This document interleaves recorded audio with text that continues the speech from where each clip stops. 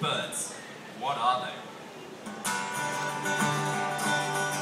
Birds were first discovered under a rock inside the beak of a dove by a group of Spanish teenagers in 1918. Recent scientists found that ostriches' wings are slowly evolving into tiny human arms.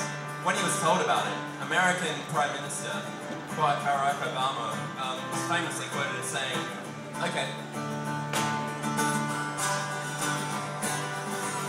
I've been hanging out with some birds over the past two or three months as a researcher, and one of the experiments I did was see if they can tell the difference between Coke and Pepsi, and it turns out that some like Coke and some like Pepsi,